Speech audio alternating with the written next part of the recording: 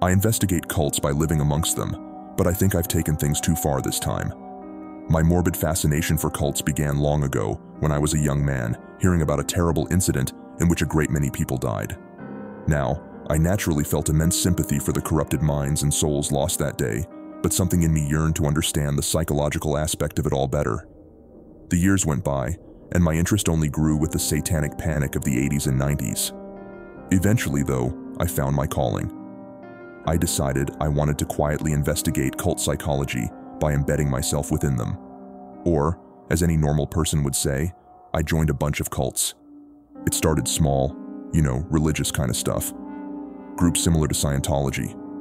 These were a good starting point, because their collective basis was somewhat still grounded in reality. Not that I was ever the spiritual type, but I could see the appeal even if to someone like myself the ideas posited remained completely ridiculous. Through the years hopping from religious cult to religious cult, I learned a great deal about why people gave everything they had up to join these groups.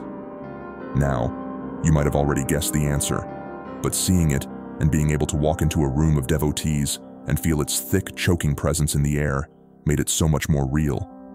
Fear. Naturally, I was forced to partake in their activities, to eat their food, to drink their drink. I had to become them, or else I'd be discovered. With the comparatively gentle nature of the earlier cults I joined, this wasn't much of an issue, but the constant sense of obsessive duty began to take its toll on me as the intensity rose. From reality-grounded religious cults, I moved on to animal sacrifice cults, and then onto UFO cults before ending up here. One beyond simple description, after a run-of-the-mill pre-joining research period, I found myself stumbling through thick brush and leaves to attend my initiation deep within the woods at the edge of town.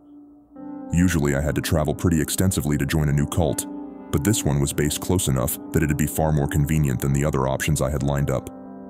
The thought of having my own bed to go back to every once in a while, rather than living in their commune indefinitely sounded nice too.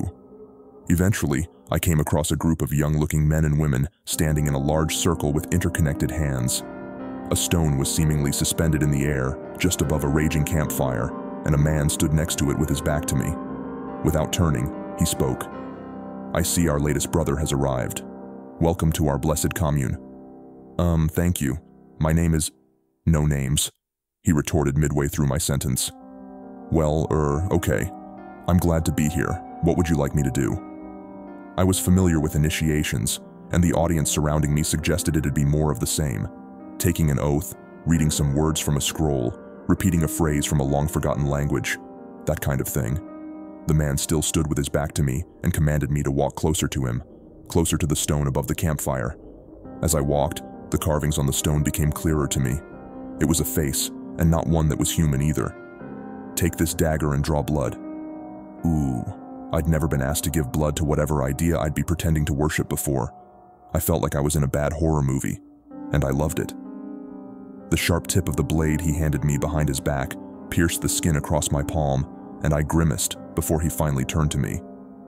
He was as young as the others in the circle around me, and yet the look in his eyes was one of a weathered man, someone who'd seen a lot, done a lot. Provide the stone with your offering, he spoke whilst his eyes obsessively followed mine.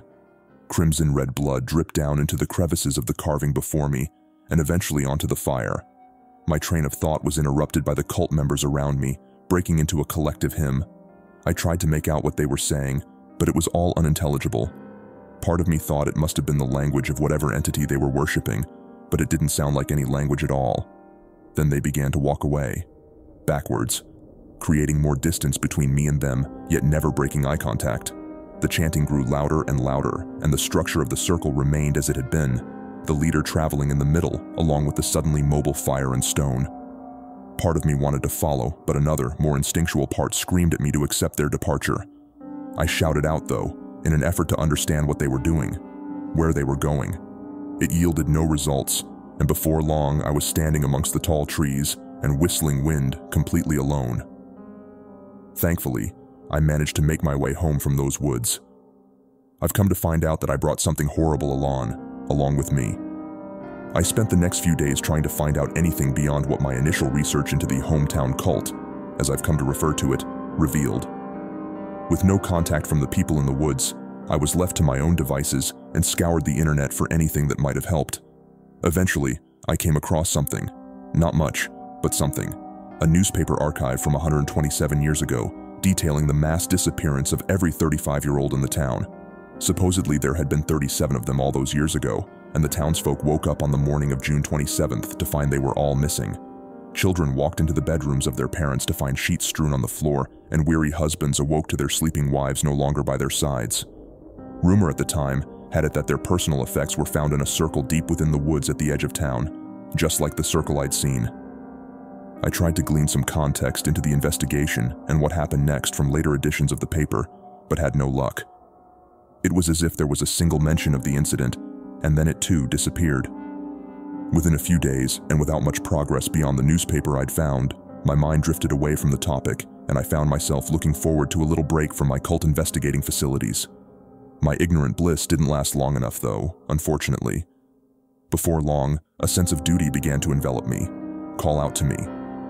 I began to hear the hymn of the circle and the blood-soaked face of the stone entity in the dreams. Its face became engraved onto my mind, and it would just be there. Present. Always.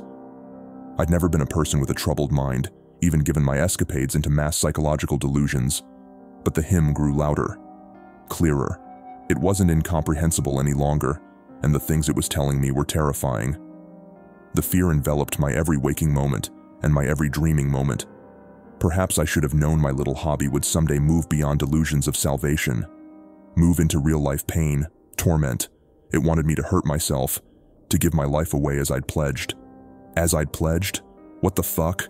I thought before finally realizing my little blood offering was far beyond the realm of simple initiation. Something in the woods called back to me. All right, here it goes. I've never posted here before, but what happened to me last weekend still has me rattled. I need to get it off my chest, and maybe, just maybe, someone here can help me make sense of it. I live in a small town in Montana, nestled in the Rockies. My house is just a few miles from a vast expanse of national forest land. It's beautiful, sure, but it can be incredibly isolating. That isolation is part of why I love it. But after what happened, it's also why I'm terrified. Last Saturday, I decided to take a late afternoon hike. There's a trail I frequent, one that winds up to a small clearing overlooking the valley. I brought my dog Max, a German shepherd who's never been spooked by anything in his life. We set off around 3 p.m., figuring we'd be back before sunset. The hike up was uneventful, the forest was serene, and the only sounds were the rustling of leaves and the occasional chirping of birds. Max was his usual self, darting ahead and then circling back to me. It was perfect, exactly why I moved out here. When we reached the clearing, I sat down on a fallen log to catch my breath and enjoy the view. Max was sniffing around, but after a few minutes he froze. He was staring at the tree line on the opposite side of the clearing, his ears perked up and his body tense. What's up, boy? I asked, trying to see what he was looking at. That's when I noticed it. At first it was just a shadow moving between the trees. I squinted, thinking maybe it was a deer or something, but then it stepped out into the clearing. It looked like a person, but not quite. It was tall and gaunt, with limbs that seemed too long for its body. Its skin was pale, almost grayish, and its eyes, its eyes were completely black.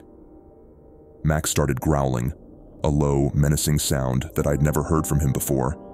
The figure took a step forward, and that's when I noticed it was mimicking my movements from earlier, almost like it was replaying a tape of me walking. Then it spoke. Max, what's up, boy? The voice was mine. Exactly mine. I felt a chill run down my spine, and Max started barking furiously. The figure stopped, tilted its head, and then turned around, disappearing back into the trees. I didn't stick around to see if it would come back. I grabbed Max by the collar and practically ran down the trail. It was getting dark, and every sound made me jump. Max kept looking back, growling intermittently. We made it home just as the last light was fading. I locked all the doors and windows, something I rarely do out here. I tried to calm myself down, rationalizing that maybe it was just some sort of trick of the light, or maybe another hiker messing with me. But deep down, I knew that wasn't it. That night, I couldn't sleep. Every creak of the house made me jump, and Max was restless, pacing around the living room. Around 2 a.m., just as I was starting to doze off, I heard it. Max. What's up, boy? It was faint, almost like a whisper, but it was definitely my voice. It was coming from outside, near the tree line. I didn't sleep at all after that. When the sun finally came up, I took Max and drove into town. I needed to be around people, somewhere that didn't feel so exposed. I told my friend Jake about it, and he just laughed, saying I'd been out in the woods too long. Maybe he's right. Maybe it was just my mind playing tricks on me. But I can't shake the feeling that something out there saw me, remembered me, and called back in my own voice. I haven't been back to that trail since. Every time I think about going for a hike, I hear that voice again, and I can't bring myself to leave the house. I don't know what I saw, but I'm sure of one thing. It saw me too. Has anyone else experienced something like this? I need to know I'm not losing my mind.